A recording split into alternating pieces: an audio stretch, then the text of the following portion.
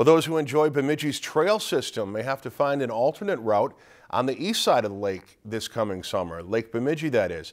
The Minnesota DNR says the Paul Bunyan State Trail Bridge over the Mississippi River east of Lake Bemidji is scheduled to be closed for repairs July 9th through the end of August. The Parks and Trails Division of the Minnesota DNR will replace the deck, railings, and certain substructure elements on the bridge, increasing its weight-bearing capacity so emergency vehicles can travel on it in the future. While repairs are made, the trail will be closed at the bridge and the DNR says there is not a safe option for an alternate route. If you enjoyed this segment of Lakeland News, please consider making a tax-deductible contribution to Lakeland PBS.